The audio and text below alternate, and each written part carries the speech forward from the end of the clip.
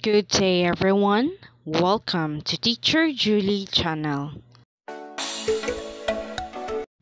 Hello everyone. We have our new lesson in TLE 7 which is all about Philippine Electrical Code or Residential Wiring. This will be the fourth quarter topic and learning competency number 3. This lesson is under the matatag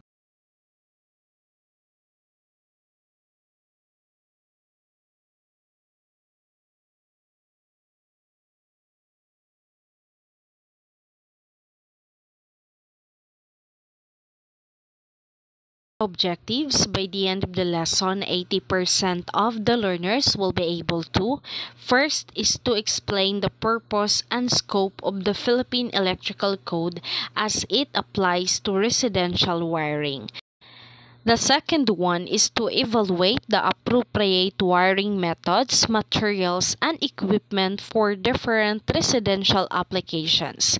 And the third one is to develop a commitment to upholding the Philippine Electrical Code as a means of ensuring public safety by answering the reflection of learning.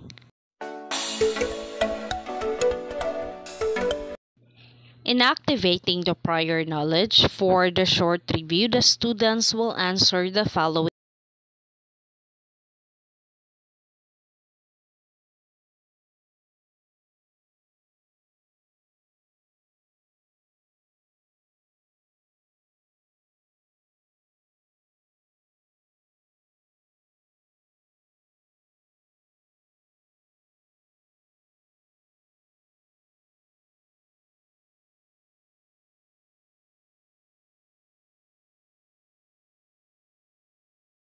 The Philippine Electrical Code, or the PEC, is a set of standards and regulations that govern the safe and proper installation, operation, and maintenance of electrical systems in the Philippines.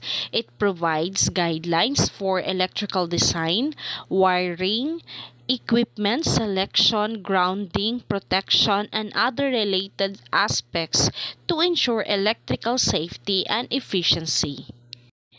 The following are the objectives of the Philippine Electrical Code. The first one is safe use of electricity. So, to establish basic materials quality and electrical work standards for the safe use of electricity for light, heat, power, communication, signaling, and for other purposes.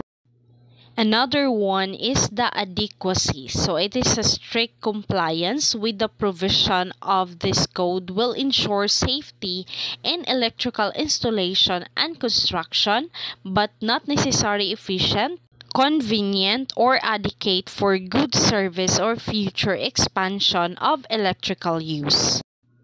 The use of Philippine Electrical Code is mandated by Republic Act 7920 or formally RA 184 also known as the new electrical engineering law.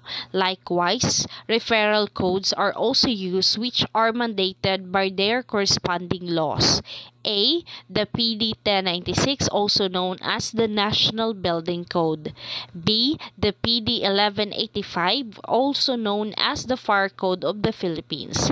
And the last one is Structural Code. Republic Act 7920 is an act providing for the more responsive and comprehensive regulation for the practice, licensing, registration of electrical engineers and electricians. The following are the government authorities who implement the Philippine Electrical Code or the PEC.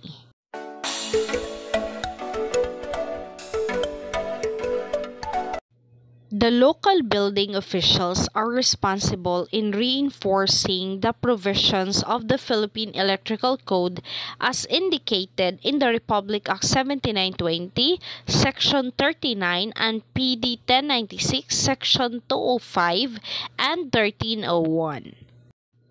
The rule of the Bureau of Fire Protection or the BFP as per provisions of the Republic Act number 9514 or the Fire Code regarding electrical systems is to reinforce the provisions of the Fire Code, particularly the Section A, is to ensure that there are no violation as per Section 8B and it has no legal authorities on the design of electrical system. A permit is required before undertaking any electrical installation. An inspection is also required after which certificate of final electrical inspection is issued by the authority. The following are the exceptions of the Philippine Electrical Code.